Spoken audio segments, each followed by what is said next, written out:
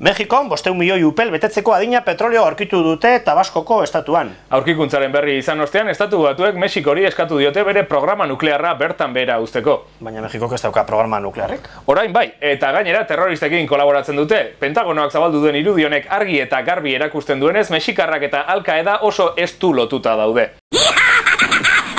Are gehiago, Mexikoko terroristek Euskal Herritik pasa ondoren zuntxipen masiboko armak ere badituzte. Voy para aquí.